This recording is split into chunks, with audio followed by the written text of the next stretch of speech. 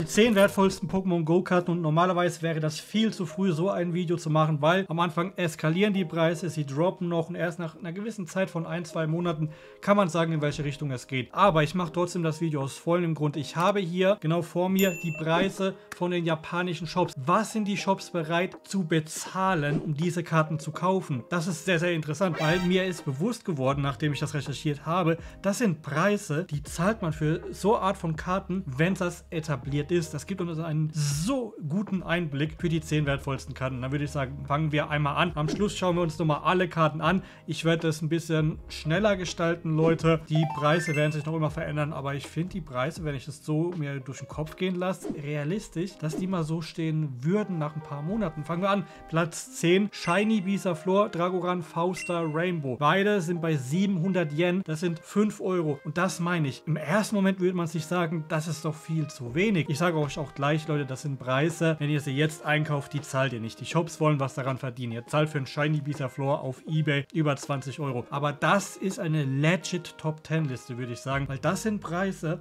Ich sehe Shiny Bisa Floor für 5, 6, 7 Euro, wenn sich das komplett gelegt hat, wenn genügend aufgemacht wurde und wenn wirklich genügend Karten auf dem Markt sind. Und das ist halt erst in ein, zwei Monaten. Und das ist halt, war ein Wow-Effekt für mich gewesen, weil ich dachte, hey, das ist, das macht, es gibt einfach so viel Sinn. Platz 9, Meistergriff Alternative Artwork für 6 Euro, 800 Yen. Und das ist nicht das beliebteste Pokémon. Es hat eine Fanbase im Pokémon Go. Das ist schön und gut. Aber 800 Yen für diese Karte, oder sagen wir mal auf, runden auf, auch wenn wir sogar sagen 10 Euro, aber hier sind halt 6 Euro. Da sehe ich die Karte auch auf alle Fälle in, in zwei, drei Monaten. Das ist vollkommen realistisch. Die Karte ist schwer zu ziehen. Das ist eine Alternative Artwork Karte. Von daher wie immer, kauft euch jetzt die Karten nicht ein. Macht auf, wenn ihr wollt. In Discord, im Patreon wurden Drops, äh, Links gedroppt, wo ihr die Displays zu guten Preisen bekommt.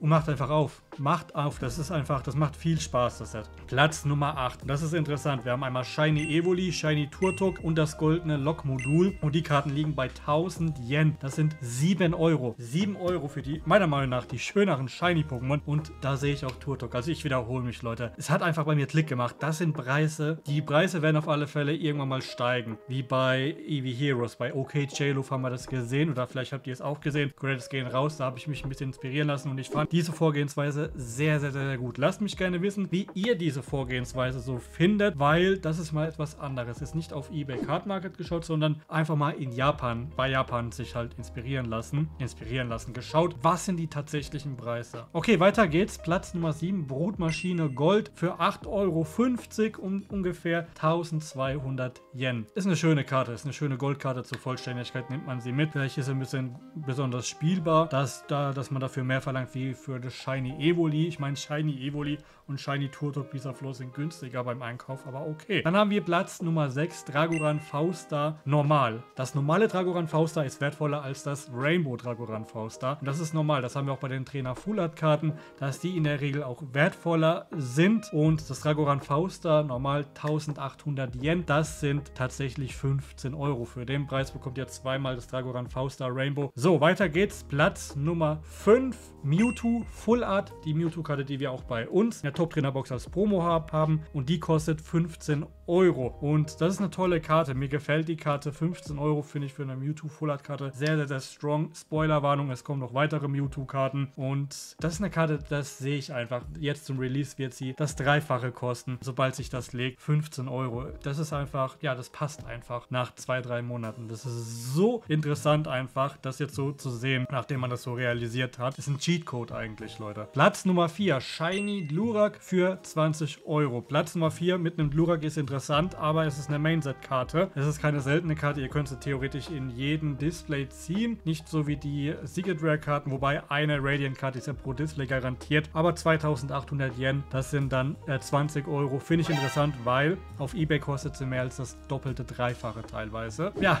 eure Einschätzung, Meinung dazu gerne in die Kommentare, würde mich sehr, sehr interessieren in dem Video. Lasst auf alle Fälle auch ein Like und ein Abo da, wenn ihr immer informiert sein wollt. Ich glaube, das habe ich am Anfang nicht gesagt. Platz Nummer 3, Mewtwo Rainbow. Mewtwo Rainbow kostet 4000 Yen. Das sind 28 Euro und das finde ich super realistisch. Das finde ich super realistisch. Platz Nummer 2, Mewtwo Gold. Wir haben es gesehen bei Dragoran, die farbige Version von den Faustar, von der Faustar-Karte kommt einfach besser an und Mewtwo Gold kostet 10.000 Yen. Auch etwas mehr als das Doppelte. Gleich gleiche wie bei Dragoran zu Dragoran V-Star Rainbow. Interessant, das sind 70 Euro. Platz Nummer 1, ihr könnt es euch schon denken, Mewtwo Alternative Artwork. Die Karte kostet 11.000 Yen, ein bisschen mehr als die goldene Karte, 77 Euro. Und das macht Sinn, entweder mag man den CGI-Style oder man mag ihn nicht. Man nimmt das CGI Mewtwo oder das goldene Mewtwo. Man wird sich entscheiden. Manche nehmen vielleicht auch beide Seiten, aber das finde ich auf alle Fälle realistisch. Ja, das ist super, super hot und wir schalten jetzt hier einmal um auf diesen Bildschirm und da seht ihr, das ist hier einmal auf Twitter. Das ist die Ankaufliste. Das ist der Händler bereit für diese Karten zu bezahlen und schaut euch das mal an. Lasst das mal auf euch wirken und ihr werdet sehen, zum Beispiel hier für die Trainer Full Art Rainbow Karten 300, 400 Yen hat ihr hier für den hier zum Beispiel 3 Euro, 2 Euro, 2 Euro, 6 Euro. Immer wieder ein Plus, Minus, aber hier, das finde ich äußerst realistisch, den Preis für diese Karten zu verlangen. Das sind, das sind coole Trainer, aber es sind die Rainbow-Varianten, die mag man eher nicht. Auch hier eine gute V-Star Rainbow-Karte. Das können wir auch schauen, nachschauen bei Arceus V-Star. Ich meine, die ist ungefähr beim gleichen Niveau. El Medal 300 Yen. Die Goldkarten, die werden auf alle Fälle nochmal ein bisschen droppen, aber auch hier sowas. Hier gehen wir ein bisschen weiter nach unten. Wir haben noch ein bisschen mehr. Und ihr seht, das sind halt viele Karten, die ungefähr gleich viel kosten. Das hier 300 Yen, 2 Euro für das Alola Kokowai Full Art, 2 Euro. Da sehe ich die Karte einfach. Haben wir noch weitere Karten, auch hier. Ja,